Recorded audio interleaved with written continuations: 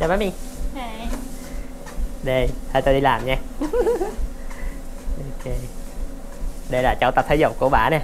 Ngày nào cũng tập thể dục một tiếng đồng hồ hết. Rồi mới ờ, rồi mới ờ, rồi mới đi ờ, làm công chuyện. Sao? Anh này nhớ nhà đẹp không? Nhớ quá mà không được ở. Vậy hả? Thích ở nhà này hơn hay muốn thích ở nhà đẹp hơn? Dĩ nhiên là thích ở nhà đẹp hơn. Oh my god. Thích ở nhà đẹp hơn ha sao vậy Ai cũng thích vậy Đã không? thích là thích là một chuyện nhưng mà ở là một chuyện rồi ta đi làm nữa nha